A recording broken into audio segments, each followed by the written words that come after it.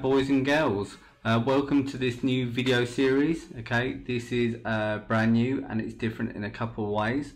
Um, this is going to be a total overview of how to use BAS or uh, Browser Automation Studio but for now I'm just going to call it BAS. okay guys?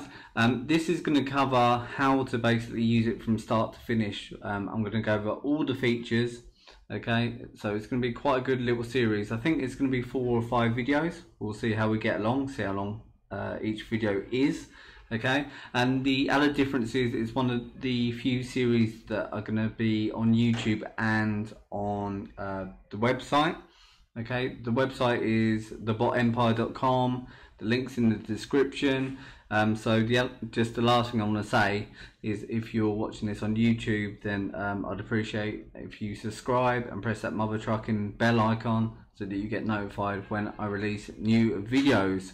Uh, yeah so like I said this is the like precursor to learning um, about the uh, browser automation studio. So if you haven't already done the only thing that um, you need to do right now is go to https and then it's bablosoft so it's b-a-b-l-o and then soft.com okay? And download the frameworks. Absolutely free to download. There is a paid version okay guys?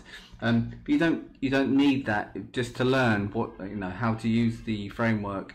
Um, the only reason you need to buy the full version is to get some some of the great other features and that's nothing to do with the uh, design of the bot you um, get a back-end kind of studio I'm going to call it a studio where you can um, you can sell bots you can sell what you've made which is going to be useful to a lot of you I know but initially all you need to do to learn how to use the framework and work with this series is download the framework, the free version. Um, I'm going to teach you everything from how to beat captchas to build, um, doing phone verification, scrapers, we, we're to do we're to do it all. You're to learn all the different features in the framework.